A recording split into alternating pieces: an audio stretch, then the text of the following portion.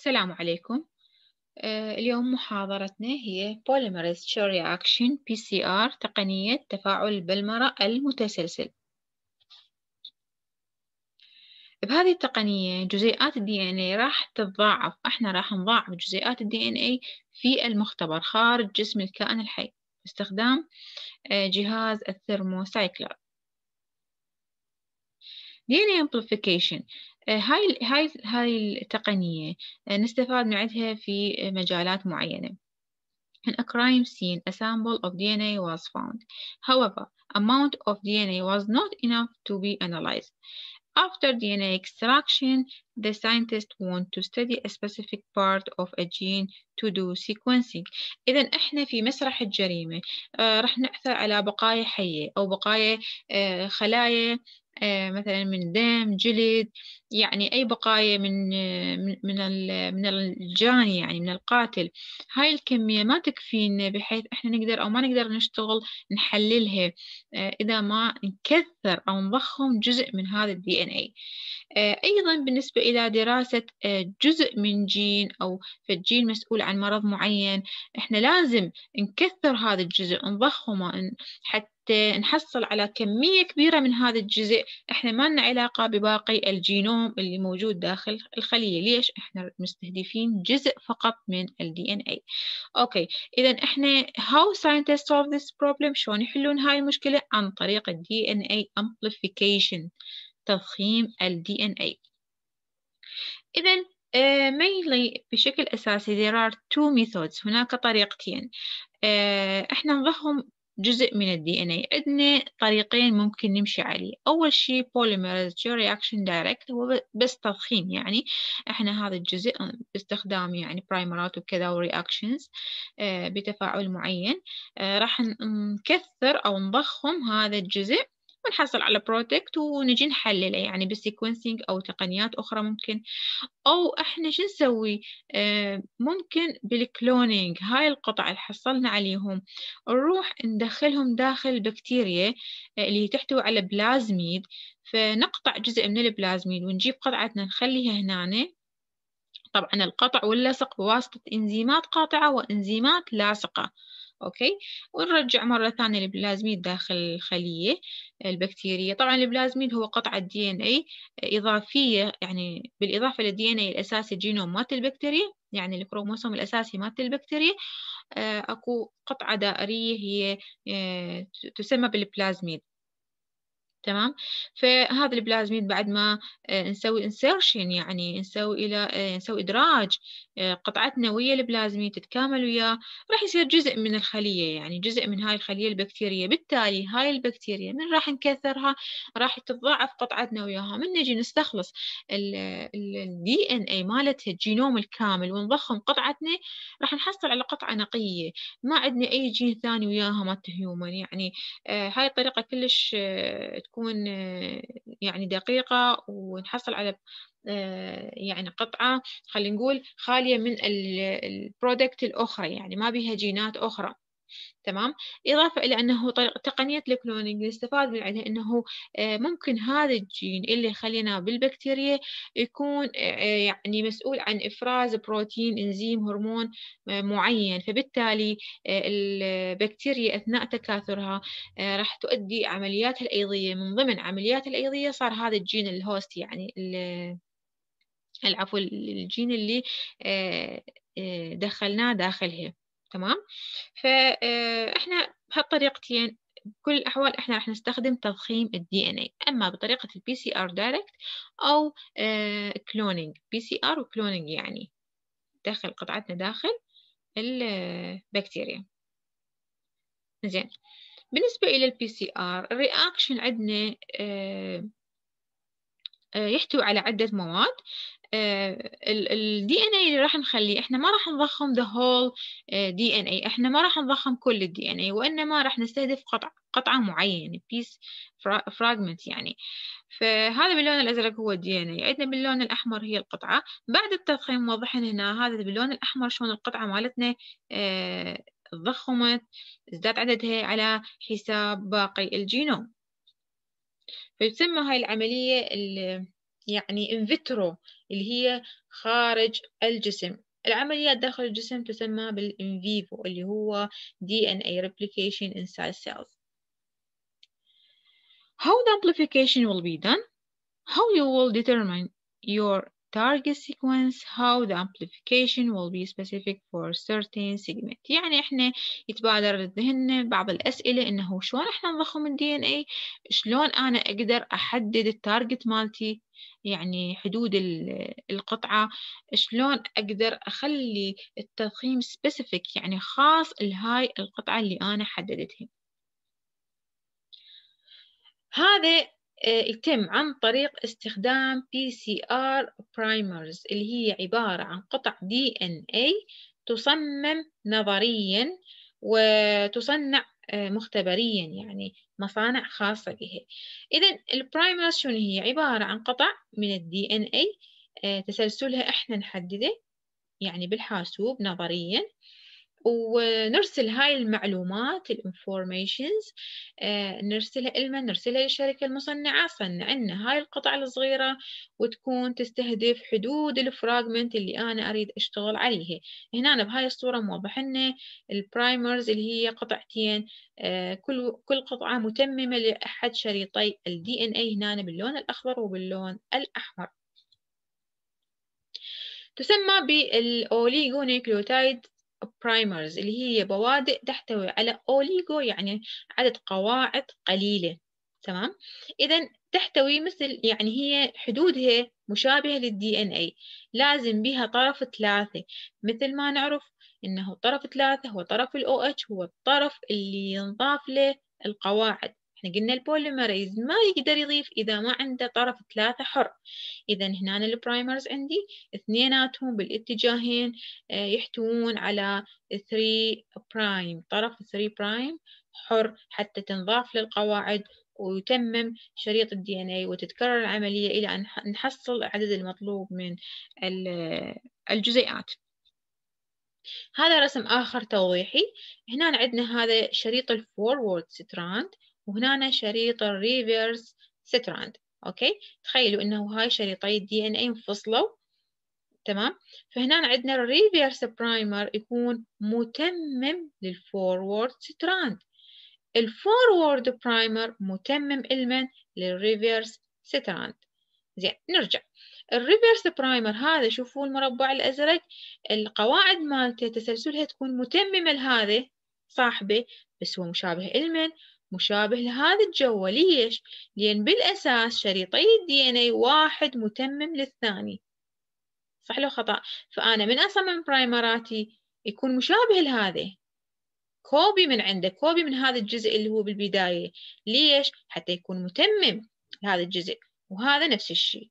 أتمنى يعني هاي الفقرة تركزون عليها حتى لو تعيدون المقطع أكثر من مرة إلى أن تفتهمون آه هذا الجزء. تمام إذا ال forward primer which have the same sequence of forward strand خلينا نتفق على هذا هذا الجزء and uh, bind to the complementary reverse strand the second called الثاني يسمى بالreverse primer which is have the same sequence to reverse uh, DNA strand and bind to the complementary forward strand أوكي.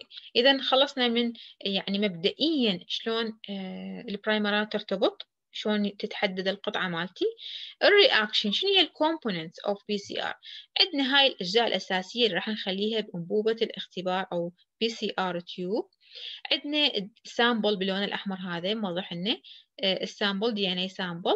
عندنا ال primer ات اللي قبل شوي حكينا عنهم هو عبارة عن قطع DNA نصممهم نظريا وتصنع بالمختبر. ترتبط بالقطعة مالتي اللي أنا محددتها. عندنا nucleotides لازم أنا عندي قواعد ولا البناء شلون يصير بدون الطابوق؟ تخيلوا القواعد هي عبارة عن طابوق تمام؟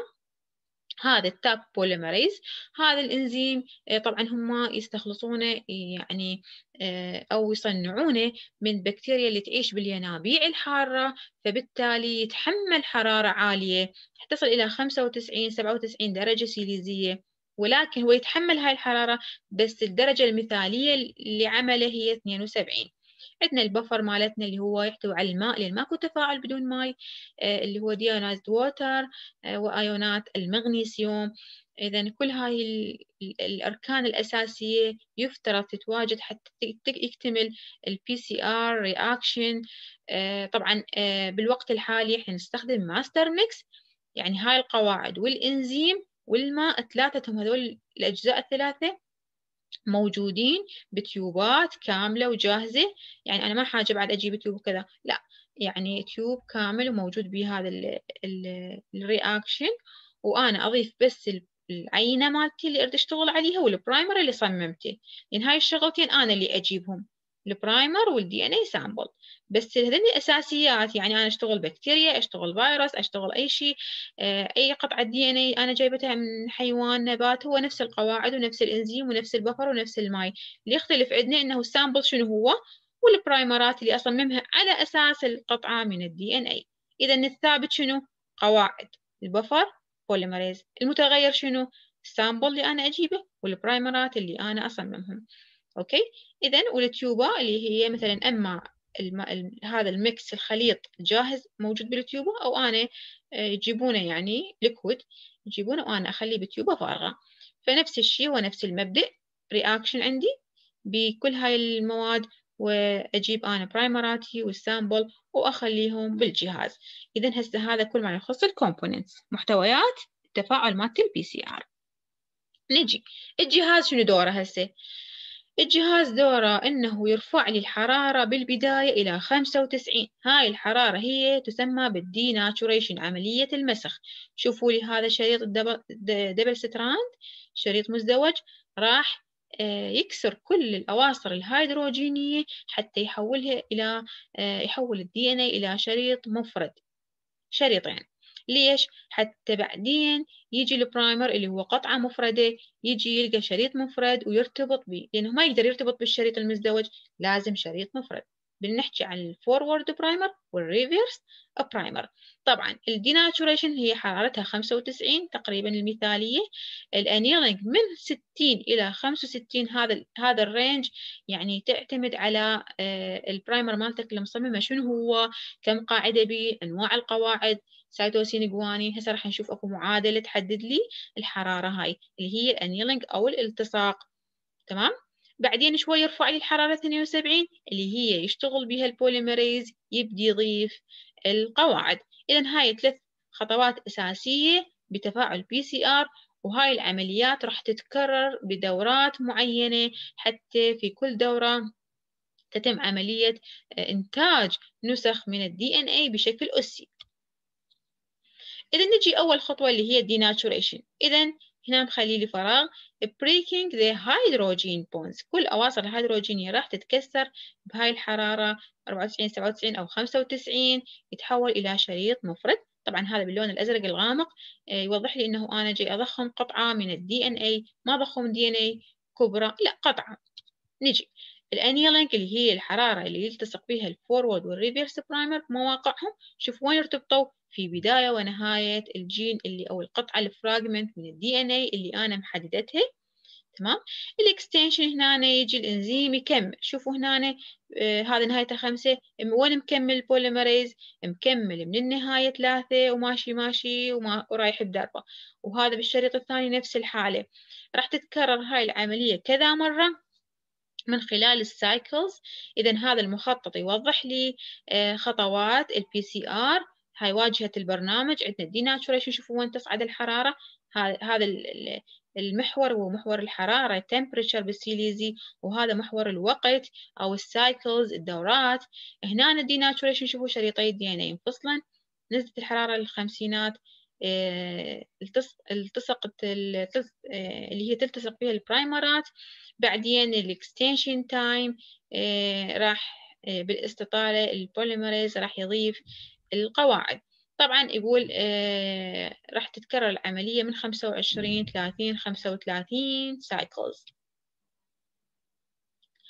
إذا بالنهاية أنا راح أحصل على billions of copies هنا موضح لنا إنه شلون أنا عندي آه، قطعة من ال DNA بعد بعد 25 إلى 35 cycles أنا حصلت على ما يقارب 34 بليون آه، نسخة من الدي إن اي اذا يقول التضخيم هو بشكل اسي شوفوا هنا منفصلين الشريطين كل شريط الطاني شريط مزدوج هنا وهذا الطاني شريطين آه، يعني جزيئتين وكل جزيئة جزيئتين وهكذا. كل ما تزداد الدورات كل ما تزداد النسخ. إذا هنا مخطط يوضح لي الستب الأساسية اللي هي أول شيء أنا لازم أحدد ال identification the location of target sequence in the DNA template أحدد القطعة اللي أريد أشتغل عليها ما أشتغل بشكل عشوائي. بعدين أنا أصمم primer design and primer specificity يعني أنا أصمم البرايمرات ولازم أتأكد إنه البرايمر فعلا راح يرتبط بالقطعة اللي أنا أريدها.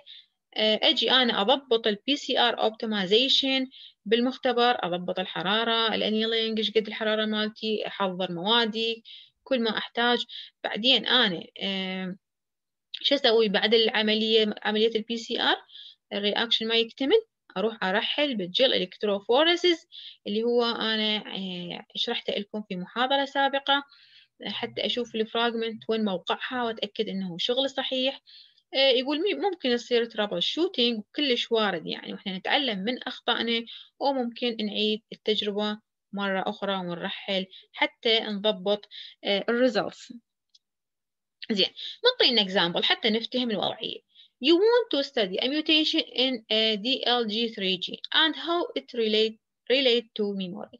يعني أنا اليوم أريد أشتغل على طفرة في جين DLG3 طبعا أنا ما راح أضخم الجين بكبره. فرضا الجين طوله آه، مئة ألف قاعدة. مئة ألف. أنا مئة ألف شلون أقدر أضخمها؟ يعني أنتم يعني بشكل قياسي تقدرون تضخمون ألفين قاعدة ممكن. أكثر من ألفين صعبة يعني.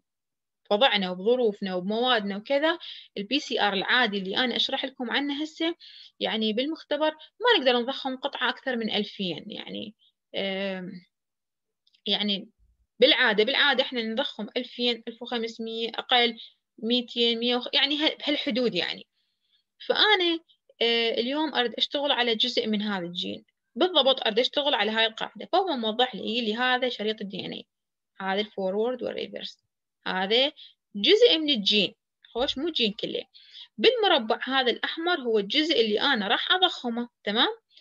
آه، بالتحديد أنا أريد أدرس هاي القاعدة. هسه إحنا ما راح نحكي عن A T ليش. لأن أنا أقول من, من أقول A أريد أشوف عندي A عندي لو, غير قاعدة. أنتم يعني already تلقائيا راح تعرفون إنه بالمقابل أكو T. نعرف إنه إحنا كل قاعدة وأختها. كل قاعدة والمتممة مالتها. من أقول أنا هاي هذا الجزء من الجين يفترض أو هذا ال location أو هذا ال position لازم بالقاعدة A. فأنتم يتبادر ذهنكم أنه الشريط المتمم هو بي T تمام؟ نرجع. فإذا أنا بدي أضخم هذا الجزء بالتحديد أريد أشوف هنا شنو عندي. عندي A لو صايرة طفرة عندي. وبعدين أنا بدراستي أربط الأشخاص اللي عندهم يعني أشخاص طبيعيين عندهم A وأربطه وين؟ ويا من؟ أربطه ويا ال memory ويا الذاكرة. مثلا أنا عندي دراسة على الزهايمر. أبدأ أشوف الأشخاص اللي عندهم القاعدة A آه شلون ذاكرتهم؟ آه بيا عمر بدأوا ينسون. خلينا نقول يعني هاي فد مثال لكم شلون طبيعة الدراسة. مثلا آه إذا شخص عنده لا مو A صايرة mutation صايرة C يعني. طبعا المتممة مالتها G مكان ال A صايرة عنده C mutation وراثية. زين هذول اللي عندهم C المجموعة اللي عندهم C شلون ال memory مالتهم؟ شلون ذاكرتهم فهيك الدراسة إحصائية. أربط آه بين إنه هذا عنده C لو A وبين ال memory بين الذاكرة. عموما فأنا إيش لازم أسوي؟ بالبداية أنا لازم أصمم البرايمرات. يقول أكو موقع اسمه Primer 3 هو مواقع بس المشهورة Primer 3 هذا الموقع موجود أونلاين أنا مجرد ما علي أدخل ال sequence مالت الجين أحصلها من ال NCBI أه في parameters معينة. أقول له أنا أريد مثلا ينطيني هو عدة أزواج. ما راح ينطيني زوج واحد لا ينطيني عدة أزواج.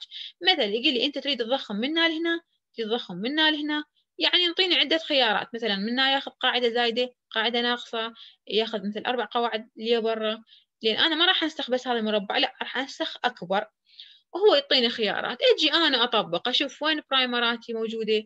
تذكرون من قلت لكم ال forward primer هو نفسه مشابه لل forward لأحد شريطي DNA ومتمم للآخر وال reverse primer نفس الشيء. يعني هو ال sequence مالت primerاتي هو نفس ال sequence مالت ال DNA لأنه primerاتي متممة لهاي الأشرطة. فبالتالي هو نفس ال sequence زين. نجي إنه بنشيك ممكن إحنا نشيك بال BLAST أكو موقع اسمه BLAST هذا الموقع من أدخل أسوي copy لل primer اللي أنا صنعته أو صممته. وانطيه paste بهاي الخانة ب BLAST راح يقول لي هو يبحث من يمي عنده database راح أو database راح يسوي search راح يقول لي يابا هذا ال sequence اللي أنت دخلته مالت ال primer مالتك مطابق للفارة مطابق للبصل مطابق للمدري شنو لأن هو DNA هو قواعد هي نفس القواعد في كل الكائنات. يابا معناها أنا تصميمي بيه مشكلة. أنا مصممته لجين مالت ال human. أجي أرجع مرة ثانية آخذ زوج ثاني. أجي أدخله بال database ألقى إنه مطابق 100% لجين ال DLG3 خلاص اذا أنا آخذ هذا ال primer. أخليه على صفحة مثل ملف Word عندي. آخذ forward و reverse هو البرنامج يقول لي هو يقول لي يعني كل شيء اونلاين عندنا ومعلومات كاملة هو يعلمك يعني. أخذت ال forward وال reverse هذا خوش primer لازم أكو فد شروط معينة هسه بعدين راح نشوفها تتوفر بهذا ال primer حتى يجي fit على القطعة اللي تريد تضخمها تمام؟ اذا هذا كل ما يخص القطعة اللي حددناها وتصميم ال primer اللي راح يرتبط بهاي القطعة. يعني طلاب أنتم تقنيات. وموادكم متشعبة كلش ومتنوعة. إحنا يعني ناخذ كل التقنيات المختبرية تقريبا اللي راح تشتغلوها بالمستشفى أو بالمختبر. فأنا ما أقدر يعني أنا أتمنى إنه آه، أتعمق أكثر بهاي التفاصيل اللي هي تفاصيل حديثة وحلوة يعني. أنا آه، يعني حقيقة أستمتع من أشرحها لكم. بس أنتم راح تروحون زايد يعني في بعيدا بعيدا عن ال يعني خلينا نقول عن التقنية الأساسية. ما دخلكم بال bioinformatics المعلوماتية يعني الحياتية. وشون أنا أنزل ال sequence مالت الجين آه، من بنك الجينات وشون أنا أحدد القطعة. طبعا طلاب إذا طالب من عندكم حاب يعني يتعلم هاي الأمور أنا موجودة. وممكن أشرح لكم يعني خارج المحاضرة أشرح لكم هاي التفاصيل. أوكي؟ بس أنا هسه هاي التفاصيل بال يعني هاي اللي أشرحها الإضافية مالت ما مطالبين بها أنتم أنتم مطالبين بالتقنية الأساسية الأشياء الأساسية اللي موجودة بالمحاضرة الأساسية اللي أنا أنزلها لكم تمام؟ يعني أنا من يعني من أحكيكم عن طفرة وكذا وبعض الأمور الخارجية لا أنتم ما مطالبين بها أنتم مطالبين بس الأشياء اللي أنا أشرحها يعني الأشياء المادة اللي أنا أنطيها لكم وأركز وأعيد بها هي اللي أنتم يعني مطالبين بها أوكي. إذا بشكل عام آه، أنا حددت القطعة مالتي بطريقة ما وحددت البرايمرات إجت البرايمرات fit على ال fragment اللي أنا أريد أضخمها. شوفوا هاي القطعة مالتي. رفعت الحرارة إلى خمسة وتسعين. طبعا أنا عندي reaction polymerase هذا الإنزيم إحنا أنا أسميه الأسطى يعني البناء اللي يشتغل. هذا ال primer صممت اللي هو عبارة عن قطعة DNA وهاي القواعد تمام؟ فهذا عندي الحرارة صعدت خمسة وتسعين denaturation انفصلت أشرطة ال DNA بعدين شو راح يصير؟ شوفوا اجت قطع ال primer ارتبطت هذا متمم لهذا الجزء ولكنه مشابه لهذا. هذا متمم لهذا ولكنه مشابه. شوفوا TTA شوفوا TTA نفس الشيء. زين forward و reverse primer اذا حرارة نزلت 58 هاي حرارة الالتصاق. نجي.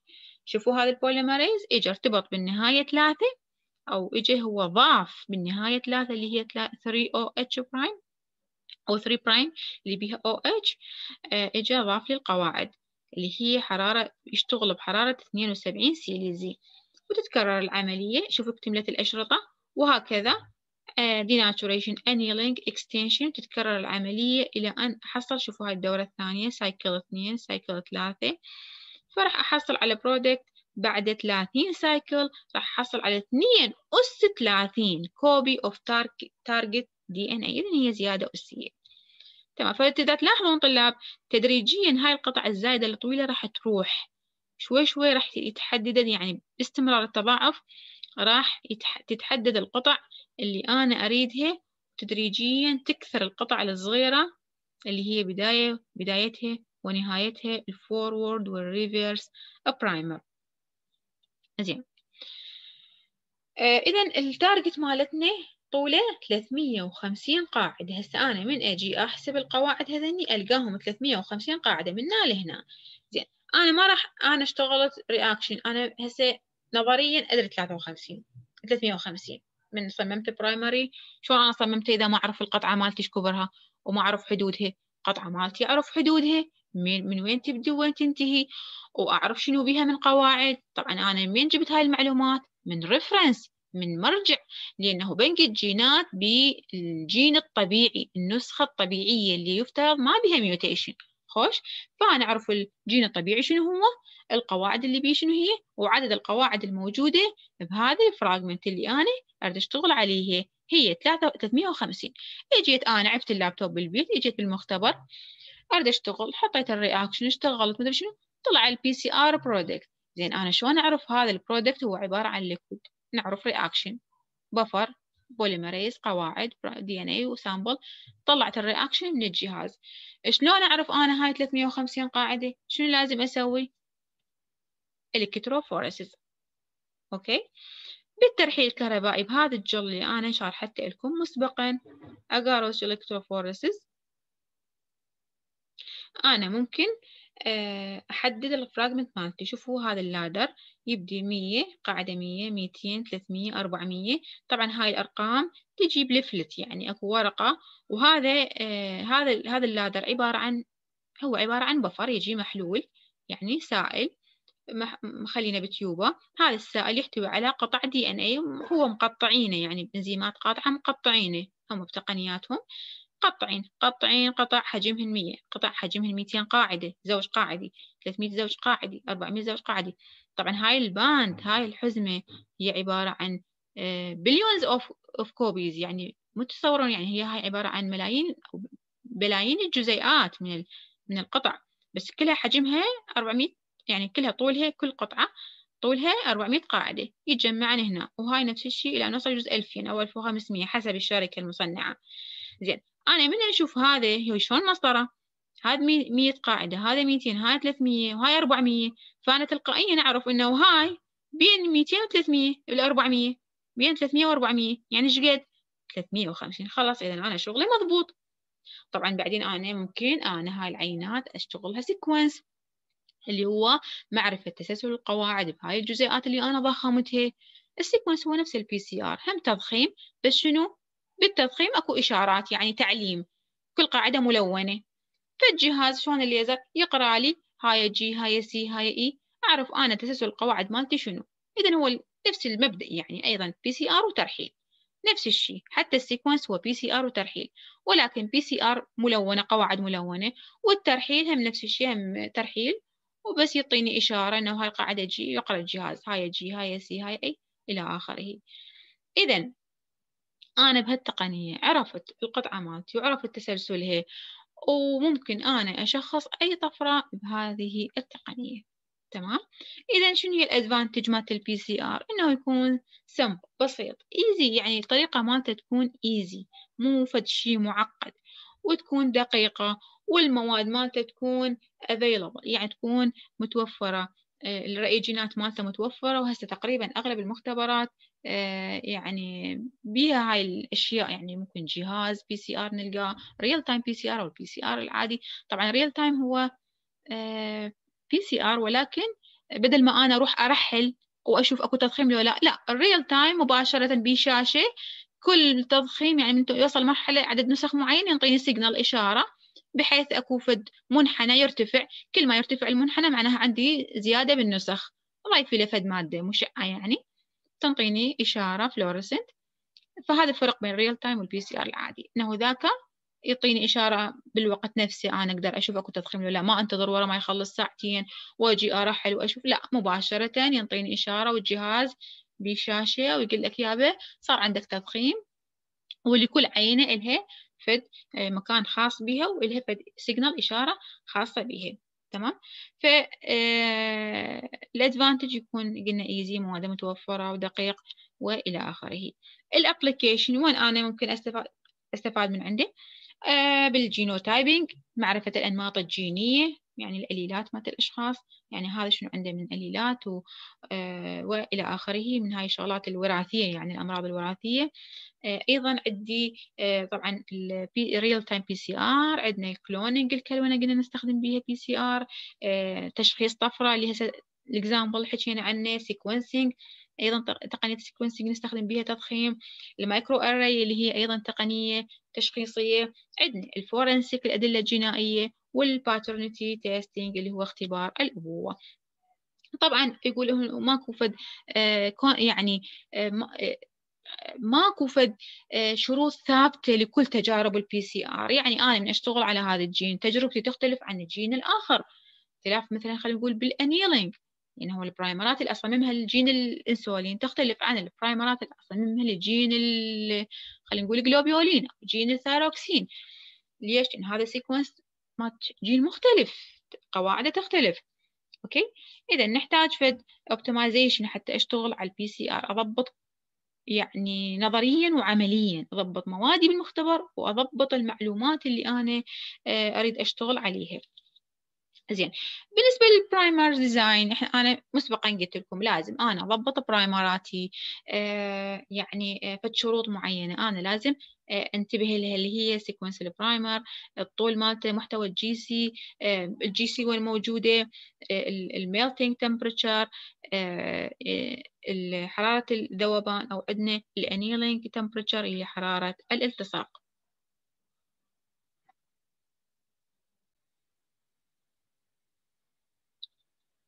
آه، إذا مثل ما قلنا هاي النقاط لازم إحنا آه، ننتبه لها. آه، بالنسبة إلى primer sequence must be complementary to flanking the sequences, sequences of target region. يعني أنا لازم ال sequence مالت ال primer مثل ما قلنا يعني flanking معناه يغطي. يعني ال forward يجي على مثل البداية وال reverse على النهاية. فأنا لازم برايمراتي تحدد الجين مالتي بالكامل أو القطعة اللي أنا أريد أدرسها بالكامل. Avoid. اتجنب ال complementary sequence between primers. يعني مو هاي القطعتين اللي تصممهم واحد يلزق متمم للثاني ال sequence مالتهم. إذا واحد متمم للثاني معناها خلاص أنا من أخليهم بال reaction يجي هاي البرايمرات واحد يلزق للثاني وخلاص انتهت المسألة. ماكو ماكو أي تضخيم.